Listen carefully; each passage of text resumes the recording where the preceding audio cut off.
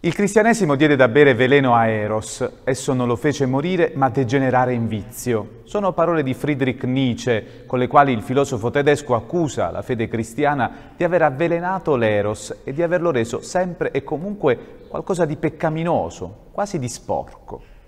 Ma è proprio così?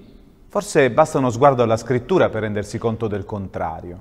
Pensiamo alle tinte fortemente erotiche del Cantico dei Cantici, alle passioni amorose di Davide, alla seduzione di Ruth.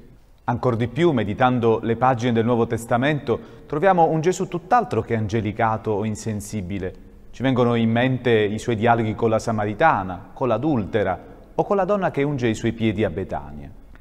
Disintossicare l'eros nel nostro contesto cristiano è uno degli obiettivi di questo testo, un piccolo itinerario tra Bibbia e morale per aiutarci a riscoprire la positività di questa forma di amore. L'eros nella scrittura non viene mai banalizzato o volgarizzato, proprio perché è capace di disvelare quanto di più profondo abita nel cuore dell'uomo.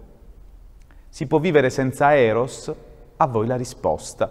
Buona lettura.